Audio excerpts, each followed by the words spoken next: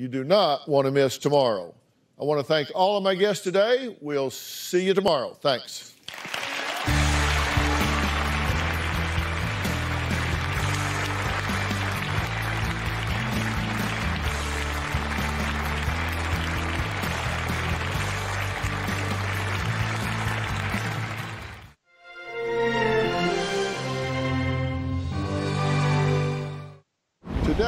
An all new Dr. Phil. Dating app There was a coffin in the middle of his bedroom. horror stories. I actually found my date hiding under my bed. Before you swipe right, He started to strangle me. beware. I was covered head to toe in blood.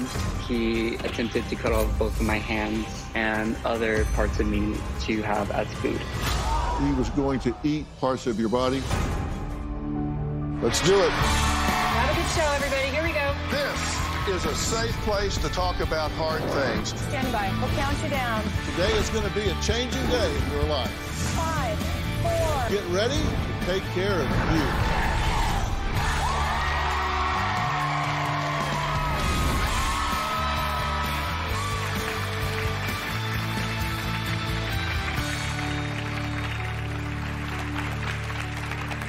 You know, I'm pretty entrepreneurial, got a lot of companies I do, and I have an opportunity for you if you want to invest.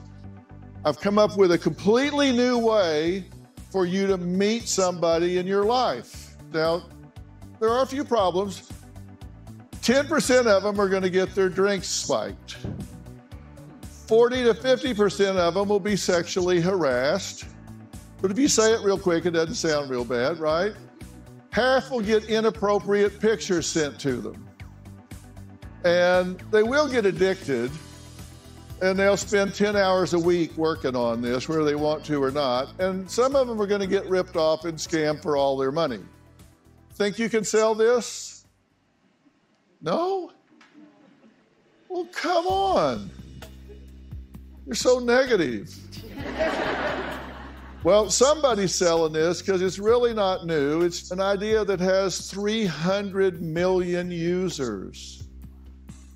I'm talking about dating apps. Now, many people are too naive and vulnerable to see red flags, and that's the problem. Take a look. Nearly one in three Americans have gone online to find a partner. Dunphy says she met Mark Papamechail on Plenty of Fish. She had no idea he was registered as a sex offender. Dunphy says she felt comfortable and went to Papamechail's house, where she says he raped her. Sex crimes detectives surprised 21 year old Sean Rickard and arrested him behind a shopping center. Officials say the Anaheim man thought he was going to meet the 12 year old girl he'd allegedly sexually assaulted Monday. It's a girl he met on Tinder. Debbie Montgomery Johnson signed up for an online dating service. Johnson says she and Cole engaged in a two year online relationship but never met in person. She gave Cole more than a million dollars in increments. At this point, I was doing what my heart wanted me to do. Police say a man met someone on a dating app who sent him nude pictures and then said she was under 18. He then got a call from someone claiming to be a police officer investigating him about those photos. And then a call from the girl's father telling him to send more than $1,000 on a cash app, but the man realized it was all a scam. But stories like these really haven't discouraged app users as more and more people sign up to swipe right. Experts say it has become an addiction like slot machines designed to never fully quench a person's dating desires. Dating apps are definitely the most common way for our generation to be meeting people. The worst experience on any dating apps I've had is I was gonna go on a date with a girl, and then she was, said she was late, so she was like, "Order me this." So I went to the bathroom, and when I came back, all the food was gone, and I was ghosted. I gave her a free meal, but I never met her. I've been catfished before. You know, I met up with someone who wasn't in the photos. I instantly just got in my car and drove away. Not only was it not the same picture, um, it, it wasn't the same gender as the photo. I've definitely encountered people using fake photos. The fake photos are obvious because they're really grainy and it's like a model from like Italy. I know someone that just got engaged and they met on Tinder. You get this jolt when like someone swipes on you that they find you attractive. You're just not getting that in person. I got addicted to the dating apps. We've actually downloaded them together as kind of a joke. We were sitting in our room trying to figure out how to spice up our, our, our love life. Now, my first guest, Jules, says she just moved to LA and was lonely. So she downloaded a dating app. I got invited on a date and I was like, sure, why not? Worst decision of my life. We'll call him Greg. So I get there and we take his dog on a walk. Get back to his house and there's a car waiting in the driveway. a girl. It's a girl. She rolls out the window, starts screaming at me, at me, not even at him. I'm his girlfriend, like, who the you think you are? I'm like, what is going on? I don't, I do not know who you are. Then she starts swinging at me. She doesn't care at this point, and she is taking it all out on me and not on him. Jules, how are you? I'm good. How are you? I'm okay. So this was your first date with this person? Yes, very first date. And he didn't mention that he had a girlfriend? Oh, absolutely not. So you had no idea? No idea. So you're out walking the dog, and when you started getting close, did he see the car in the driveway? I saw him look at a car before me, and then I turned around, and that's when I saw. Okay, when he saw the car, did he say anything to you? Did he explain he like. Uh, he just let you walk right up on it? Yep, exactly. And did he know she was in there? Well, he did when she rolled down the window and they all started screaming at me. Well, there were more than one. Oh, it was a car full of girls. She started yelling from the car or she got out? She started yelling from the car at first, and then she got out, and her friends were behind her, and she came really close to me and tried to fight me. What did you do? I ran back to my car. Oh, okay, so you took off? Yeah, I took off. Yeah, good thinking. Yeah, I thought that was the end of it, but. Yeah, it wasn't. No. what happened next? She got my number from his iCloud and she started texting me nonstop. As it turned out, that was the best of your oh, dating was, experiences in the beginning, right? That was nothing compared to. Because the next one made you miss this guy. Oh, 100%. What happened on the next one? So I actually found my date hiding under my bed. Well, that's not how you met. I met him on a dating app. Things were fine. He seemed sweet. I developed feelings for him. One night I decided to go out and he's texting me, asking me where I am. And um, he's a little concerned. He thinks I'm with other guys, which I'm not. I'm with my roommate. I find my key card to my apartment is missing. I don't think anything of it because I lose stuff a lot get back to my apartment, go to sleep, wake up to him crawling out from under my bed and standing over me. So your key card didn't go missing, he took it. Yes, he stole it from me. Okay, you went to bed not knowing he was under the bed. Oh, absolutely not. He went into my apartment while me and my roommate were out. Okay. And he that's your bed? Yep, there it is. So he hid behind those drawers for hours. Creep meter is pegging over here. So he hides under your bed behind those drawers for hours. Yes. And you you're in bed asleep. Yes, he thought that he was going to catch me come home with another guy. That's why he did it. And what was his plan then? What was he going to do when you I'm happy I didn't find out. Did you ever report this? No, but after telling the story a few times, now I think I should. Well, there's a statute of limitations on these things. Yeah. And that's that's illegal entry. Yes. And then it, he stalked you mm-hmm. in real life. Right. I mean, not just call, you know texting you and that sort of thing. And you might want to consider reporting this and Right. getting a restraining order or something on it because who knows what could happen. Exactly. So I, I want you to be safe. That's that's the main thing you'll understand what I mean when I introduce this next story. Strangled, stabbed, and left for dead. A college student's cautionary tale of trusting someone too quickly from a dating app. We'll meet him next.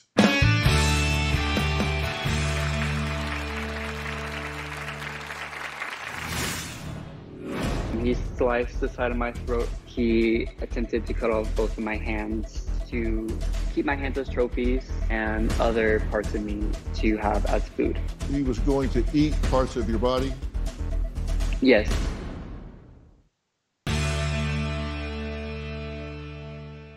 I was on a date with someone, and at the end of the night, I guess he decided that the date was over and just like ran down the street. Okay, bye. And then literally, like, just like watched him run down an avenue, just like run into the night. So, like, I texted him after and I was like, Did you just run away? He's like, Yeah, but we never dated again. Well, we're talking about crazy dating app stories, and some of these, like somebody just turning and running away into the night, can be kind of ridiculous but funny. And some of these can obviously be really involved, dangerous, and dark. After talking for a month on a dating app, Holden made plans for a first date. What was supposed to be a fun night, just playing video games, turned into the absolute worst nightmare you could possibly imagine. Holden was kidnapped, strangled, stabbed, and almost murdered. He ended up in a coma for three days and barely survived to tell his story. So, joining us virtually is Holden. Uh, Holden, thank you so much for joining us today and talking about this. Thank you so much for having me. Holden, you met this person on a dating app and you guys talked for a while and then you made a plan to go play video games at his father's home. Is that right? Yeah, so we had talked for approximately a month, and we, the main plan was to go to his father's house while his father was offshore and play video games. He proposed a sexual encounter with handcuffs. I didn't know if he really wanted to have sex or not, but he did propose the encounter with handcuffs. So I agreed, and from there, he put the handcuffs on me, and after that, he started to threaten me with a pistol. He, he goes put the gun away, then he comes back and he he pulls out a belt and starts to he started to strangle me. And how long did this go on? Uh, he strangled me probably for about 30 to maybe even longer um, basically to the point of every blood vessel in my face like up from the belt around my neck. Um, every blood vessel ruptured due to the severity of how he was strangling me. I'm so sorry to hear this happen to you. Now, you, you eventually lost consciousness, right? Yeah, I lost consciousness, and while I was unconscious, he stripped me naked. Um, it's unknown if I was raped or not while I was unconscious because there was never a rape kit given. Um, but while I was unconscious, he put me into a bathtub, and that's where he began to start the mutilation of my arms or my hands and other parts of my body. I was covered kind of head to toe in blood. So in total, he had put six holes into my throat with either a knife or an ice pick. He had multiple items in attempt to kill me. Um, he sliced the side of my throat open. You probably can't see it that well, but there it is right there. Um, he bashed the back of my skull open with a hammer, cracking my skull open in order to finish killing me and he attempted to cut off both of my hands and was able to saw down to the bone on both of them. His main goal was to keep my hands as trophies, um, have other parts of me as memorabilia, and other parts of me to have as food. Okay, so he was going to eat parts of your body? Yes, that's what he confessed. You were in a coma for several days and he he severed the tendons and ligaments and uh, all of the veins and arteries in, in, your hands, I mean, in your wrist and all. So you had to go through a lot yeah. of rehab for that. And I still don't have full capabilities in one of my hands slash wrist area. Well, that's just absolutely horrific. Now, let me ask you this was someone that you met on a dating app but yet you, you say that you're still on dating apps now. What's your rationale for being back on dating apps? Yes, I was hurt by someone from a dating app, but not everyone on dating apps is a serial killer. So maybe one day I could find someone, if that's possible, hopefully one day. Have you been on some dates? I have. Um, How a they handful. Um, I mean, I'm still single, so I guess that kind of shows how that's ended. Some people will recognize me from the news, or they will look at the scars on my wrist and on my body and just think I did it to myself, and then they will get uncomfortable and just basically not talk to me because of the incident, because it makes them uncomfortable. And that's just kind of one of the ways that it's affected me. Okay. Uh, well, we're going to take a break. Holden, I'd like you to stay with us if, if you will. Yeah. Gonna, coming up, we're going to add a woman to the conversation who says she would rather be single than ever use a dating app again. We'll meet her and find out next.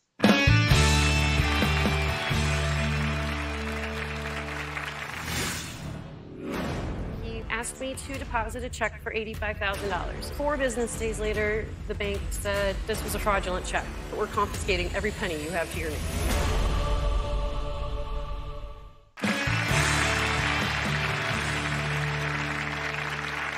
My next guest, Christine, turned to a dating app after her divorce. She says her time was limited working from home and raising three children, so she thought, well, um, I'll I'll give this a, a shot. It's it is efficient. Uh, she connected with a man that she fell in love with, but what she didn't see coming was how he scammed her out of eighty-five thousand dollars and that is hard to see coming and sometimes if that's who they are if that's what they do they're really really good at it and he was really good at it right He was extremely good. You know, I think in the other cases, you were attacked by somebody and you couldn't have prevented it. And that's why I think sharing my story is really embarrassing because looking back, now I can see where I should have done things differently. Um, but there's no way that this was this first time, this person's first time. They were way, way too good. But yeah, we had met on the app and we were just talking and texting. He always had some excuse for why we couldn't meet in person, why we couldn't FaceTime. I spoke with him on the phone, but it was 99% texting back and forth. But the conversation was so engaging and he was asking questions unlike anybody else had. So I trusted him. He built my trust up over time. The first time he said he needed $500 for his daughter, so I sent it to him PayPal and he paid me back. The next time it was something like 1,500. I did it, he paid me back. I had no reason not to trust him. So the big one was he was working supposedly a job and asked me to deposit a check for $85,000 into my bank account. So I deposited the 85,000. The bank immediately made 500 available for withdrawal. Two business days later, the bank made the full $85,000 available in my account. So in my brain, I assumed that meant that the check had cleared. The bank wouldn't make that much money available if it hadn't. So he asked me to wire 82,000 and that I could keep 3 just for helping him out. So I did the wire transfer. And then 4 business days later, the bank said, "Oops, our fault. This was a fraudulent check. We never received the funds from the check issuer." So not only are you liable for it, but we're confiscating every penny you have to your name. So imagine me, single mom of three little kids. I couldn't buy groceries. I couldn't pay my mortgage. I couldn't pay our bill. Like, what was I supposed to do? I'm blessed because my family stepped in to help out. But this whole time, this individual was telling me, there must be a mistake with the bank, or I'll talk to my boss. That must be the problem. I love you so much. We're going to work through this. Don't worry about it. But I'm in tears. Like, I'm out every dime I have.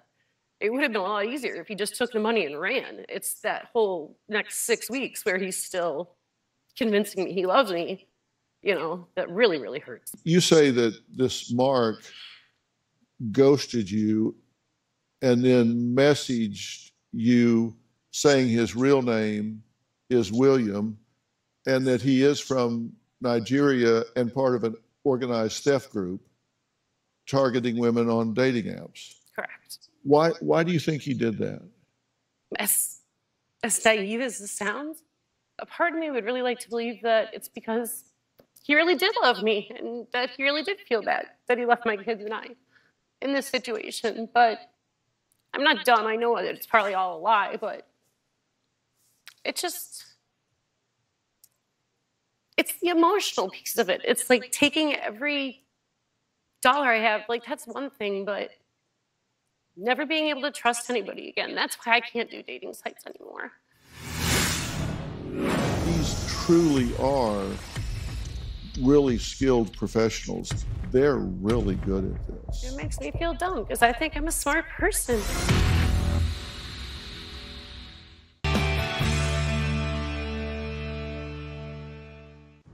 According to the FBI, there's a major new category of crypto dating scams where fraudsters convince people to put their money into fake cryptocurrency investments. More than $7.7 billion was stolen in cryptocurrency fraud worldwide in 2021. I don't I don't know that this helps, but I, I can tell you, I know you say things to yourself that it's like how how could you? But the truth is, these truly are really skilled professionals. They understand how the bank works, they understand how the clearing houses work, they understand what the timing is. And he did invest seed money. He he got he asked for some money, you gave it to him, he paid it back to build trust. He asked for a little bit more, he paid it back to build trust then he didn't ask for a large sum of money. He gave you the money, and your bank put that in your account. They didn't say we're going to hold this for collection, they put it in your account. So the whole system really failed you, and a very skilled professional that has a lot of experience at this preyed upon you. Uh, you know, they call them con men for a reason. That's short for confidence. They build confidence in people and then they they prey upon you. And I've worked with the Nigerian ambassadors. We've put people on the ground in Nigeria. They do have a really big combine over there. They work out of workrooms over there. He may have been talking to you and 30 other women at the same time. I'm sure. You, you, you have no way of knowing. And I've had people here that have lost over a million dollars in this. They've sold their homes, they've cashed in their retirement funds, they've borrowed money, they've sold their furniture. Let me tell you how nefarious these people are. They send these text messages to their targets and they'll use broken English. They'll say, I'm from Idaho, but I'm stuck overseas on a construction project. And they'll send them a message that say, I, I love you, my heart and soul, moon, sun. They leave out articles and stuff. And I've asked them before, I've talked to these people and said, look, you've got grammar and spell check on your computer just like we do. Why do you not at least correct your crummy grammar. And they say, oh no, that's a screening tool.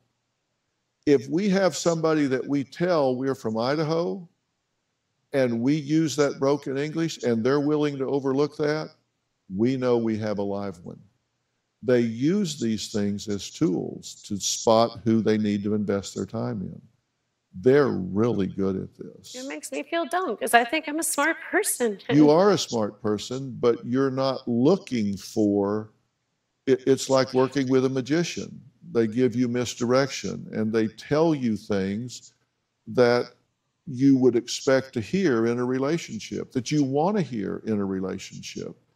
And that's why they choose who they do. Someone that's been through divorce or they've been through they're a widower or a widow, but man or woman, they, they find someone that's experienced loss, gone through something, they know they're alone after a loss, and they they target just those people. So just know they're really good at this. They're Can I borrow eighty-five thousand dollars? Yeah, kidding. yeah, I'm real good at this too. We're going to add another uh, woman to this conversation. For her, a first date turned into a nightmare. Now he is in prison for life. What happened on this terrifying night out? We'll talk to Kelly next.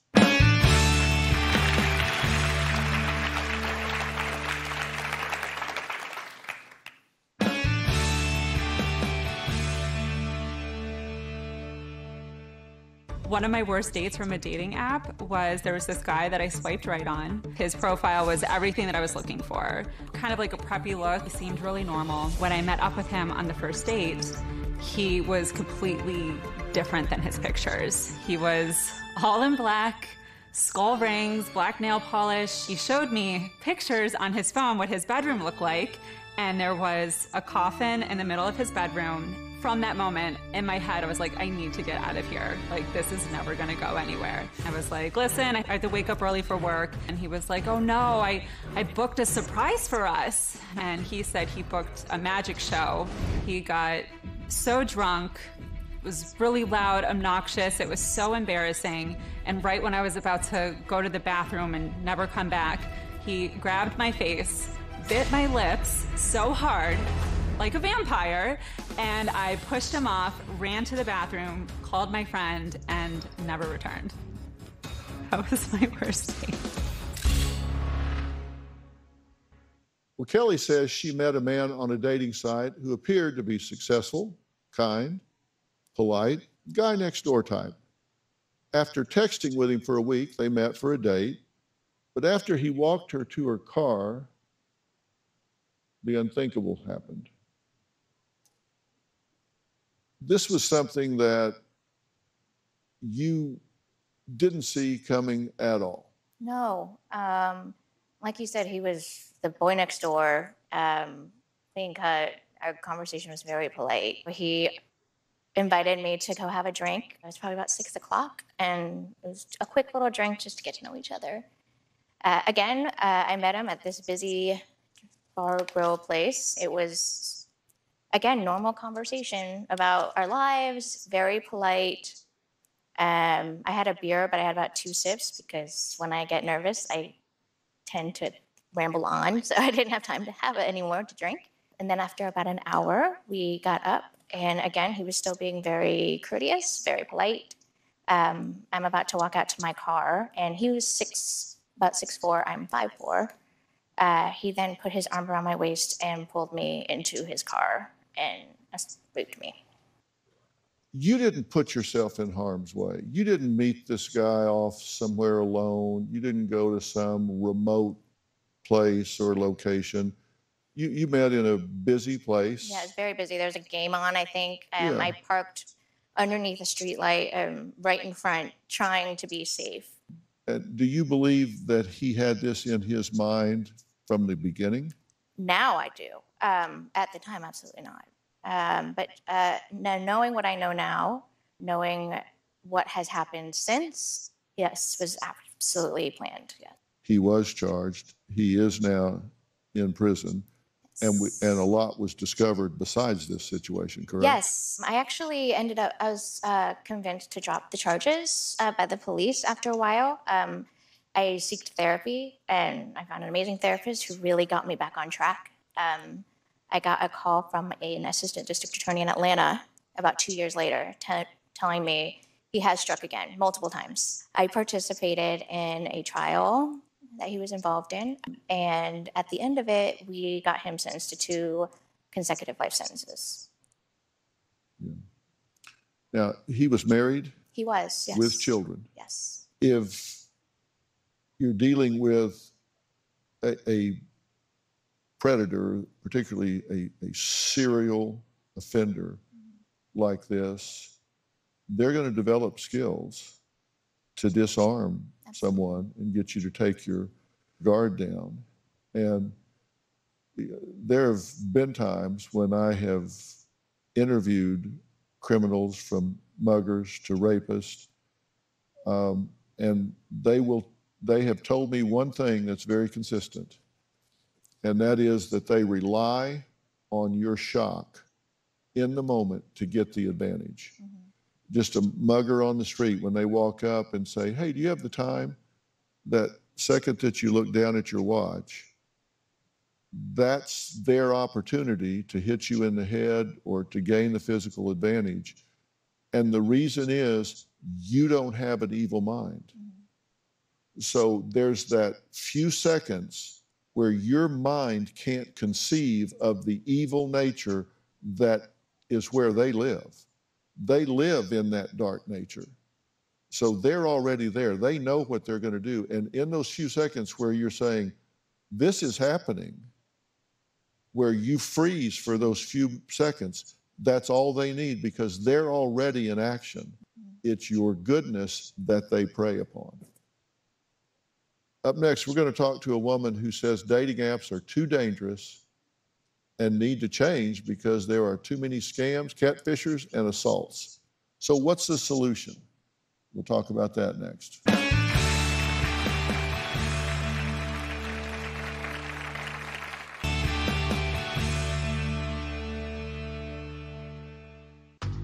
Last year, I met a guy on a dating app and we dated for about four months. Things seemed to be going really well, and I thought I was even developing feelings for him until one day he texted me a link asking me to go to this resort with him for the weekend, and it was a nudist resort. I was so scared. I was like, ah, no, thank you. I never talked to him again. We're talking about dating apps and how they have become addictive and even dangerous. And I want to introduce writer and director of the HBO documentary Swiped. Now, Nancy Jo has researched dating apps and says they are not made to find love. That's not the purpose. They're not there, uh, Nancy Jo, to quench people's need. And in fact, they're there to get them addicted, and that's part of the intermittent reinforcement schedule that they're designed around, correct? Yes. The marketing for dating apps is so powerful because they tap into our deepest need for love and connection. Meanwhile, their actual business model is to get you addicted to the app and to actually have a relationship with the app itself. That's why you see people on them multiple hours a week. They're designed in you know, very pointedly to addict you, to get your serotonin levels jumping and the swiping, you know, gets gets your whole neurological system excited about matching. And there are lots of people actually who use dating apps a lot and never even meet anyone in person. They just go on the app itself because it just becomes quote unquote fun to play the game.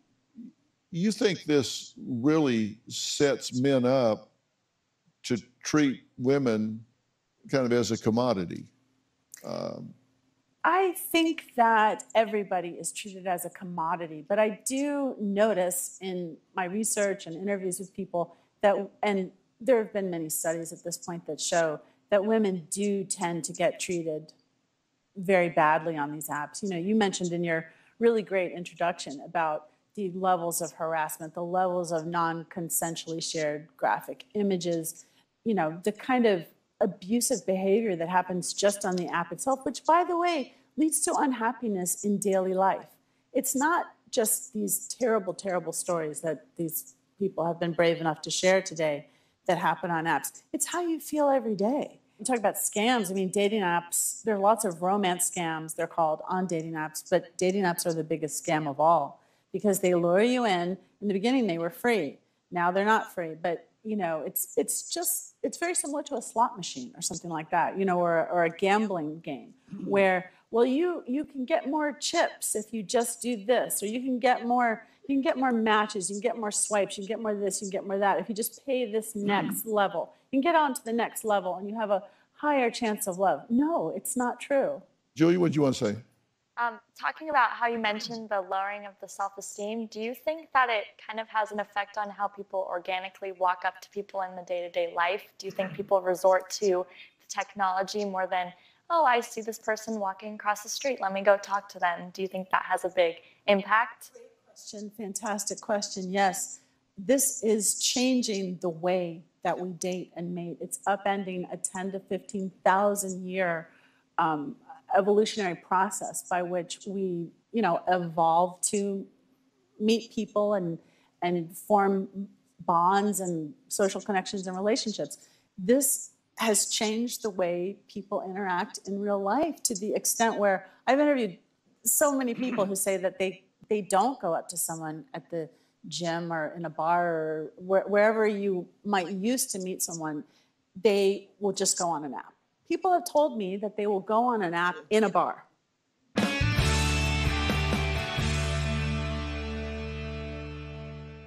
A good friend of mine is, is here today. Linus, there are real people out there that aren't predators that still have communication skills and can meet and talk other than on apps, right? I mean, there are still people out there. Absolutely. And first of all, I'm sorry to hear some of these horrible stories. Um, um, I'm really sorry. But no, there are some good people on there. There's really nice, unique um, people out there. It's one of my calls for, for the dating app industry. They need to vet they also need to have age checks because there are underage people on there who are making fake profiles because kids like to experiment. They like to see what's going on on the apps. And I've talked to, you know, underage people who've talked with adults, met with adults, and had terrible things happen to them as well. So, I mean, yes, you're right. Absolutely. There are good people on these apps, but the companies need to think about the worst case scenario, not the best case scenario. They like to compare themselves to bars they say like, well, it's just really like a bar. If you came into our bar, you know, like whatever happens to you in the bar. No, it's not like a bar. There are algorithms that like um, connect you with the person. It's a powerful tool. It's a dangerous tool, as they say. You know, with great power comes, great responsibility. You have to be responsible to yourself to not put yourself out there in those kind of situations. It's a powerful tool, and sometimes we forget how dangerous it is. It puts you eh, in front of the whole world and you forget about that. You, you, you developed this relationship and emotional connection with, with the phone, not, not with the other person. You go out there, you download the app, and you expect it to protect you. Your point is somebody, everybody, needs to be really careful who they're allowing to be on their app. And if somebody is allowing a serial rapist, a con artist, a scammer uh, to get on their app, they, they've got to find some way to filter those people, to find those people. And of course, if they haven't been discovered yet, that's hard to do. But some of these people, like one woman, there was a registered sex offender on there the app. That's a that's a fairly low bar. There are um, a lot of registered sex offenders on these apps, and there's been studies about it, and they don't do anything about it. In fact, they're repeat customers. They go, they bump them, they go to other apps. The reason why they don't vet is because they don't have to. Because there's an internet law called Section 230. It's a very controversial law that says that third-party platforms are not responsible for what third parties do on their apps. It's a really controversial law. It needs to be changed but they don't have to do it. They, they don't. They can't get sued, so they don't really spend any money doing anything about it. Your point is the apps need to have some level of security, some level of screening for who gets on the app. And they won't do it, so there needs to be congressional investigations, I think. Couldn't agree with you more. I want to thank all of my guests today. For more information about this episode, or if you'd like to share your story, log on to drphil.com. If you want to add your voice to the conversation, you can find me on Twitter, Instagram, or Facebook, not on a dating app. I will not be there. I've been married for 46 years and I intend to stay that way. So you won't find me on a dating app.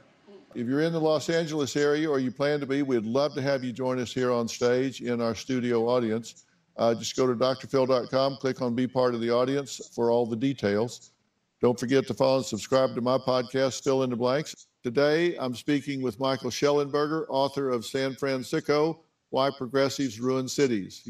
Be sure to check out I've Got a Secret with Robin McGraw, and you can find them both on Apple Podcast or wherever you listen to podcasts. I hope you'll come back when we have more time to talk about some of these things because this is clearly the way people are meeting, and we need to make sure everybody is as educated about it as Thank we possibly can. I'm so glad you did the show.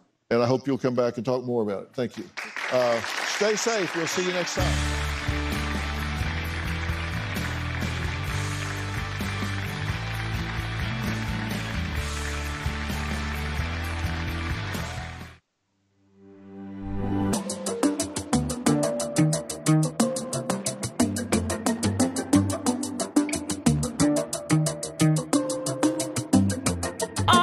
myself. I don't wanna share you with nobody else.